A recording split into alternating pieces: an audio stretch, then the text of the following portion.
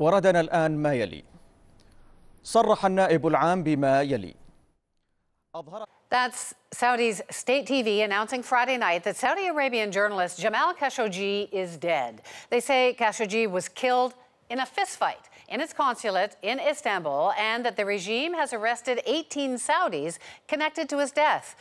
There's been so many versions of what happened to Khashoggi as the Saudis have been fighting to gain control of this story.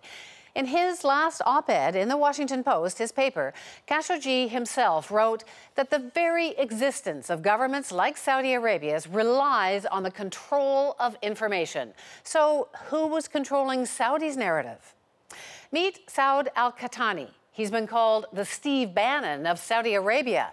Like Bannon did for Trump, Qahtani has been whispering in the ear of Crown Prince Mohammed bin Salman, controlling the media and the message. And even more like Bannon, on Friday night he was fired along with other Saudi advisors. Before his ousting, Qahtani had been spinning a very different message from the headlines we were getting here about Khashoggi, like these ones. Where is Jamal Khashoggi?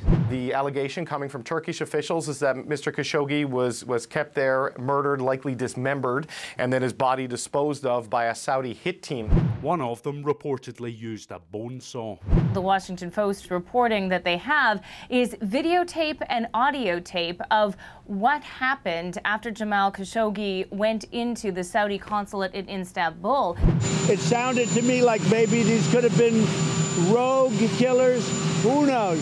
Reports swirl today that the Saudi government will admit that he was killed at its consulate in Istanbul, Turkey.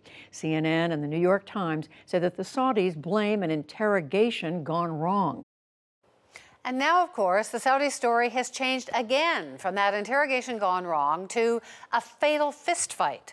All along, many were suggesting that Qahtani was involved in Khashoggi's disappearance, but he was openly mocking that idea. He retweeted this joke video saying he must have used an invisibility cloak to get into Turkey undetected.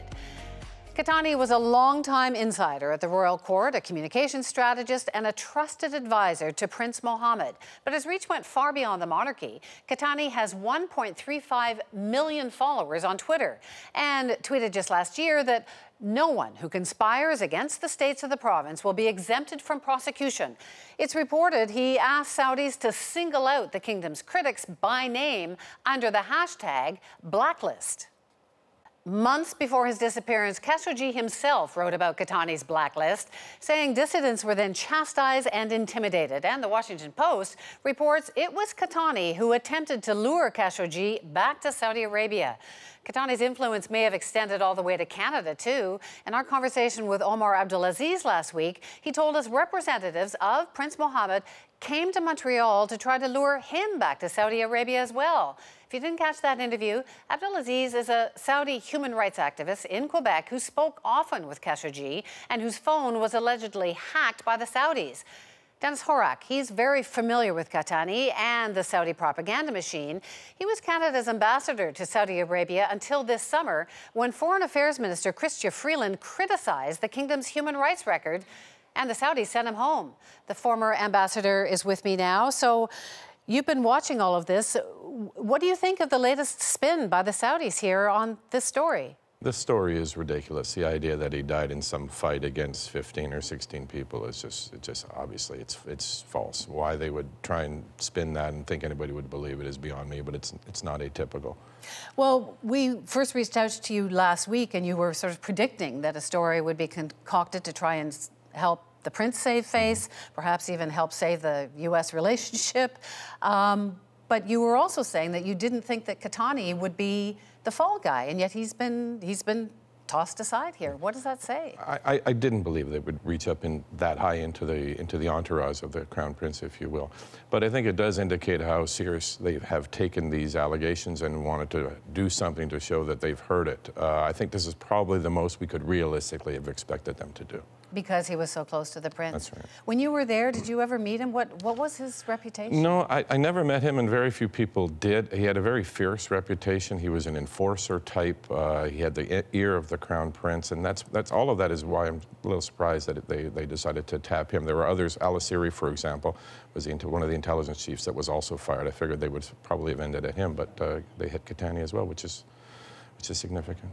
So now it seems like people are supposed to believe, or at least pretend to believe, this story. Why? I mean, it, it, if you believe the reports from the Turks, it sounds like a state sponsored assassination and a man hacked to death. Mm-hmm.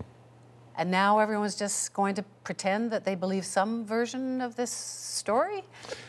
Some version exactly. Whether this is the final version we're going to hear, we don't know. There will be uh, trials of sorts for these 18, although clearly they'll be convicted. That's what happens in Saudi Arabia when you're charged.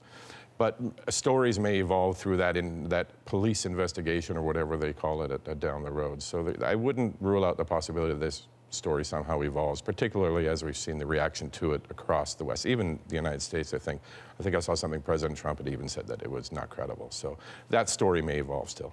Well, at first he said it was credible. Now he seems, as you say, to be hedging somewhat. The Canadian government, uh, Chrystia Freeland, has said it lacks credibility.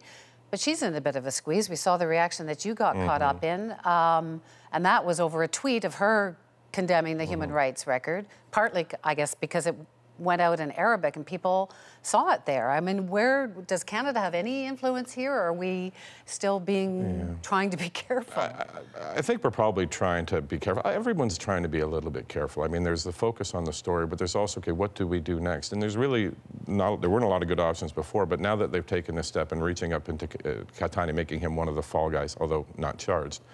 I'm not really sure what more there is uh, we can ex realistically expect from them. The, the, the, Crown Prince is not being removed. This is not similar to an, uh, you can't, it's not like a president you can impeach or a prime minister you can oust her if there's some scandal. He's the Crown Prince and he's not going anywhere. So they've, I think they've sort of gone as far as they can and they've, they've got some, some of their Arab uh, neighbors to support them, UAE, Bahrain, Egypt have come out in support. So, and they also got endorsement from the Council of Religious Scholars. So I think this is as far as they're going, and the decision is, okay, what do we do? What do we do now, if anything, and what are our expectations if we do do anything?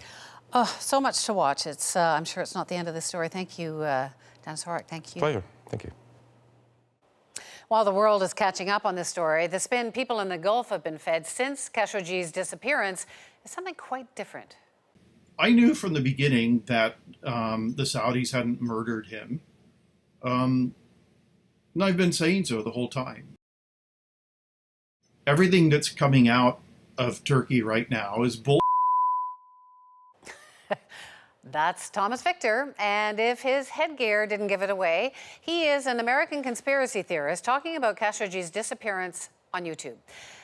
Now what you're looking at is his video with Arabic subtitles, which Prince Mohammed's supporters on Twitter used as proof that he had nothing to do with Khashoggi's disappearance. It's been retweeted by pro-regime accounts tens of thousands of times. Pro-Saudi fake news has been everywhere, of course, pushed by verified accounts, paid trolls, even bots, those fake computerized accounts. Like, remember that alleged 15-person hit squad? Well, in Saudi Arabia, you were told they were just regular Saudi tourists. Or remember, when Saudi officials argued Khashoggi had left the consulate, images like this poorly doctored photo were made to show him leaving. And then this one, which seems to suggest Khashoggi's fiance waiting for him outside, was actually a man in disguise. Yeah.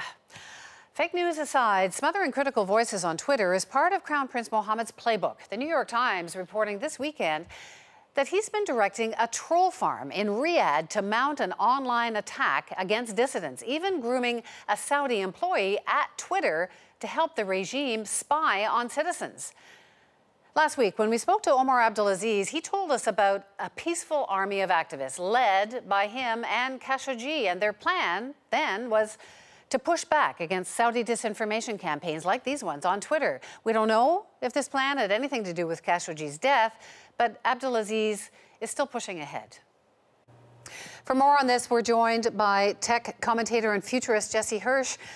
Jesse, not so long ago, the, the Arab Spring, we remember human rights activists were like, let's meet in the square. Thousands of people are responding. Like, social media was used to empower human rights activists. Now it seems like it's the dictators who are using it. What, what's happened? Well, it speaks to politics as a pendulum, that we went from the world of hope to really the world of fear. And it's both fear in terms of users fearing state repression, but it's also states fearing how their citizens, how their residents will use social media to amplify dissent.